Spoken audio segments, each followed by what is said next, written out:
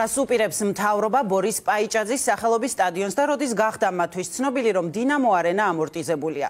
პრემიერის განცხადებიდან ირკვევა რომ სტადიონს მდგრადობის პრობლემები შეიძლება შეექმნას. აქამდე ინფორმაცია ამის შესახებ არ არსებობდა. მას შარშან უეფას ევროპის 21 წლამდე ფეხბურთელთა ჩემპიონობისთვის ჩემპიონატისთვის რეკონსტრუქცია ჩაუტარდა. დინამო არენაზე გამართა საქართველოს ეროვნულმა ნაკრებმა ევრო 2024 საკვალიფიკაციო ეტაპის პლეი-ოფის ნახევარფინალური და ფინალური მატჩებიც პრემიერის განცხადებების შემდეგ სავარაუდოდ დინამო არენას ლიცენზია შეუჩერდა.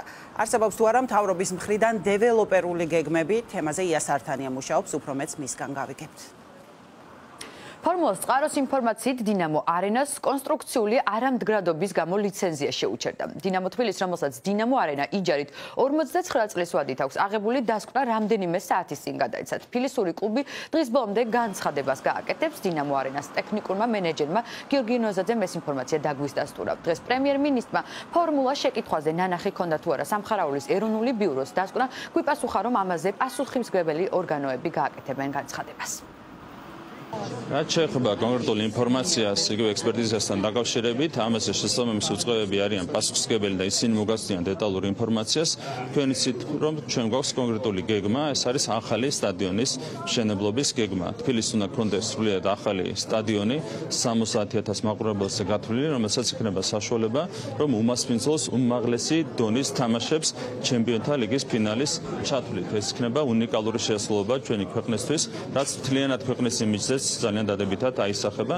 ამიტომ ჩვენ გვაქვს კონკრეტული გეგმა და მიყვებით ამ კონკრეტულ გეგმას. თუ ამორტიზებული იყო სტადიონი დინამო არენა 26 მარტს, ანუ 4 თვეში დაზიანდა ისე რომ ეხლა არ შეგვიძლია ჩავატაროთ ერთა ლიგის შესარჩევი თამაშები? რაც შეეხება წინა თამაშებს, არც ერთი თამაში არ ჩატარებულა რაიმე რისკის პირობებში, ამაზე ვარ პასუხისგებელი. რაც შეეხება სამომავლოდ რა როგორ იქნება, ამასთან დაკავშირებით საზოგადოება მიიღებს ინფორმაციას, რა თქმა უნდა, ყველა რისკი იქნება დასრულებული. პრემიერ-მინისტრმა ეს ამბავი მოსახლეობას სამხარაულის დასკვნის გასაჯაროებამდე ორი დღის წინ ამცრო იმედის ეთერიდან, სადაც თქვა, რომ დინამო არენა ჩვენი ქვეყნის მთავარი სტადიონი ამორტიზებულია და შესაძლოა მდგრადობის პრობლემებიც კი შექმნილიყო. დინამო სტადიონი ჩვენი ქვეყნის მთავარი სტადიონი არის ამორტიზებული მდგრადობის პრობლემები შეიძლება შეიქმნას.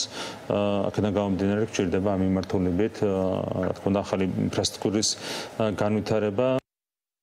სვა ის ფაქტი, რომ სულ რაღაც 4 თვის წინ მარტში საკვალიფიკაციო ეტაპის მატჩებს სწორ დინამო არენა მომასპინძლა შორს რომ არ წავიდეთ, სულ ახლა ხანს ორიოდე კვირის წინ ამავე სტადიონზე მასშტაბური Black Eyed Peas-ის კონცერტიც გამართა. იყო თუ არა მაშინ უსაფრთხო დინამო არენა ფორმულა 3 კითხვაზე პრემიერმა დღეს დადებითად უპასუხა.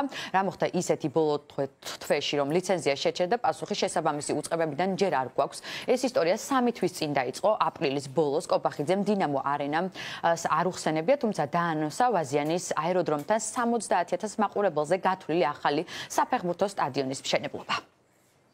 ამხელა ბუმია საქართველოსი საფეხბურთო სპორტული სათქმეა, მაგრამ ამ შემთხვევაში საფეხბურთო და ასე დროს ჩვენ ვიგებთ, რომ 7 სექტემბერს პირველი საშინაო მატჩი ვიწევთ ჩეხეთთან, რომელიც რა თქმა უნდა ყოველს გვეგონა დინამოზე უნდა გამართულიყო ლოგიკურად და მე ვიგებთ, რომ არ იმართება დინამოზე.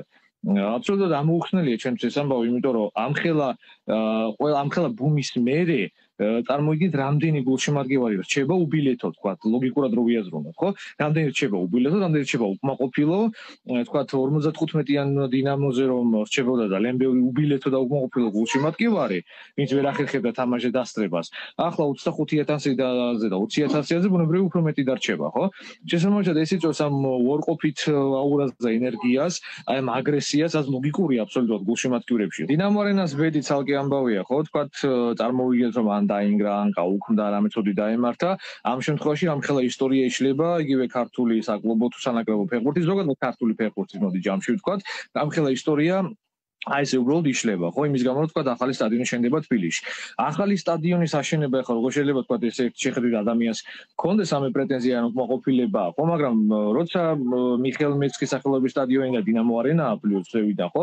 კიდევ დედაქალაქში თან რომელიც ნუ რეალურად თბილისი ვიცით რომ პატარა ქალაქია და მანქანებით გადატვირთული ისეაც ხო? კიდევ მესამე დიდი სტადიონის აშენება ცოტა არ იყოს მე პირადად მიმაჩნია რომ საჭირო არ არის ამას თვლი უბრალოდ ის კი არა რომ თქვა ახალი სტადიონები არ უნდა აბაშინოთ, არა.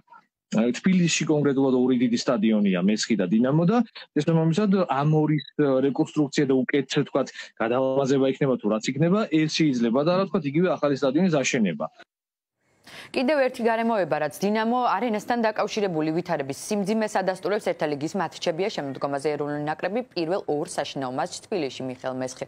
ზე ხოლო მესამე შეხვედრას ბათუმში გამართავს, შეგახსენებთ მეცხლზეც და ბათუმშიც. ბაიჯახი ჭაძის სახელობის სტადიონთან შედარებით ბევრად ნაკლები მაყურებელი ეტევა.